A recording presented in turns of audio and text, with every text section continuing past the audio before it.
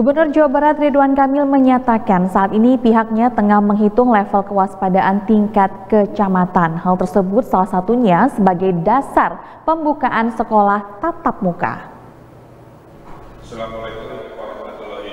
Setelah beralih menggunakan level kewaspadaan dari nasional, Gubernur Jawa Barat Ridwan Kamil menyatakan 22 kabupaten dan kota masuk ke zona resiko rendah atau kuning dan lima lainnya masuk resiko sedang atau orange. Lima daerah tersebut yaitu Kota Bogor, Kota Bandung, Kota Bekasi, Kota Depok, dan Kota Cimahi.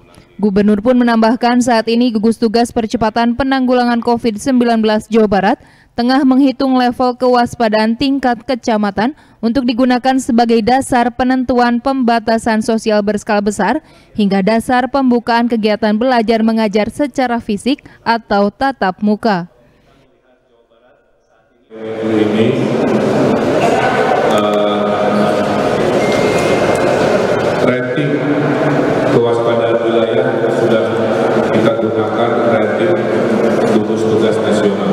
Jadi tidak lagi menggunakan gugus tugas Jawa Barat yang memang lebih dulu, tapi agar bahasa kita sama seperti pemerintah pusat, maka per minggu ini sudah kita geser dan hasilnya adalah sekitar 22 masuk zona resiko rendah dan kuning.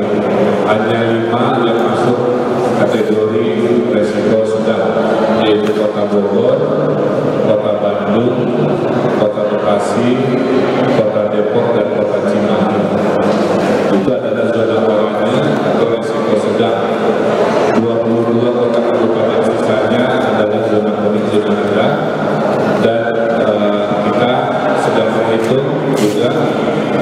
Kecamatan-kecamatan yang sudah masuk zona hijau karena dari uh, resiko rendah dan sedang ini kita akan lebih detail zoom in ke kecamatan untuk wacana pembukaan sekolah di zona hijau yang saya kira akan kita bahas lebih lanjutkan.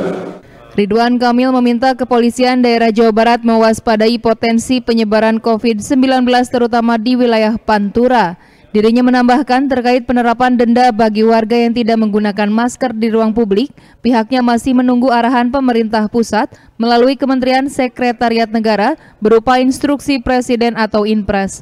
Sedangkan regulasi di tingkat Jawa Barat terus dimatangkan dalam bentuk pergub yang ditargetkan selesai dan mulai berlaku pada Senin 27 Juli 2020.